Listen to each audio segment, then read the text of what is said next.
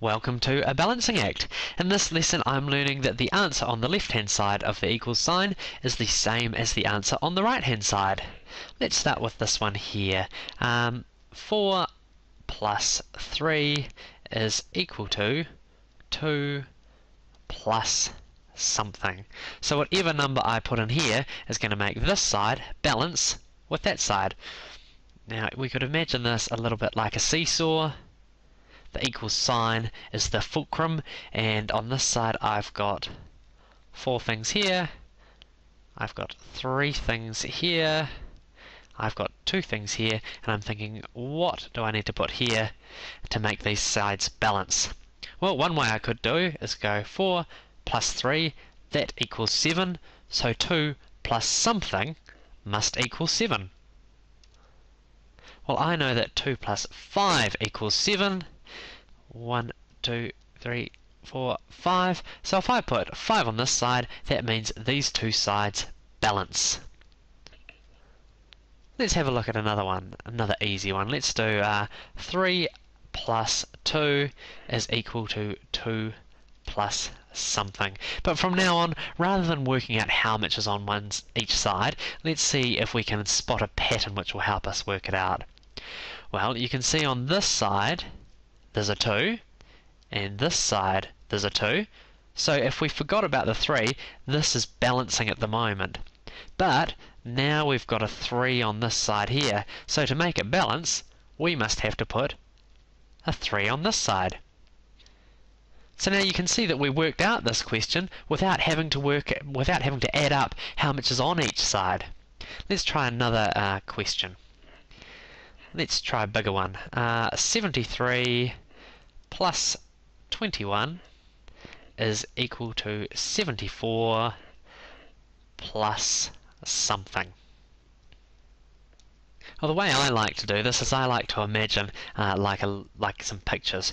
This big bar here or big building represents like seven my 73, and this little one represents my 21, there's my equal sign or my fulcrum. Now on this side, I need another tower that represents 74. And now you can see this tower is just going to be slightly bigger than that 73. So I'm going to draw one and you can see it's just a little bit bigger than that one. So now if this tower is bigger than that tower, to make these sides uh, balance, my little small tower is going to have to be a little bit smaller than that one. See, this one's a little bit bigger than that one, so this one here has to be a little bit smaller than that one over there. Well, a little bit smaller than the 21 would be 20, because see, this number is 1 bigger than that, so this number has to be 1 smaller than 21. Let's try another one a bit like that. Um, 84 plus 19 is equal to uh, something plus 20. So I'm going to imagine my picture again. There's my big 84. Here is my 19. Now on this side I've got 20. Now 20 is just a little bit bigger than 19, so you can see that this bar here is just a little bit bigger. Now if this one is bigger than that one, then my then my big number is going to have to be just a little bit less than that to make it balance. Well, this number here you can see is one bigger than that one. So that means that this number here is going to be have to be one smaller than that number. So that means this number must be 83. Let's finish by having a look at uh, a couple of subtraction questions. Let's do 37 minus 19 is equal to 38 minus some amount. Well, remember this is a subtraction question, so we're going to have to go about it a little bit differently than we did with these two up here, because they were addition questions.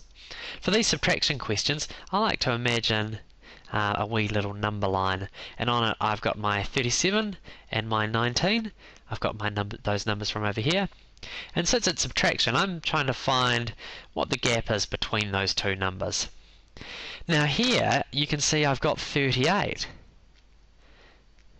Now if I was to draw my line from there all the way up to 38, you can see that that gap is bigger than this gap here. So that means they wouldn't be equal. The only way to keep this gap the same is going to be to make this one also one bigger.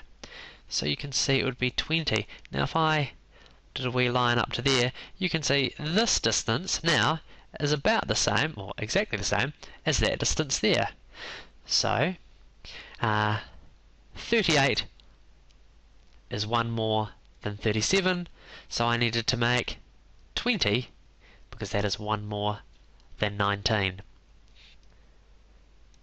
And by having both of these numbers one bigger than these numbers, it kept the, di the distance between those two numbers exactly the same. Let's try one last one. 2040 minus 60 is equal to 2030 minus something. Just running out of room there a little bit. Well, just like uh, last time, I'm going to draw a number line. I'm going to put 2040 on it and 60, and I'm imagining the distance between those two numbers. Now you can see that this side's a little bit different. I have got 2030 on here, so I'm going to imagine that's that point.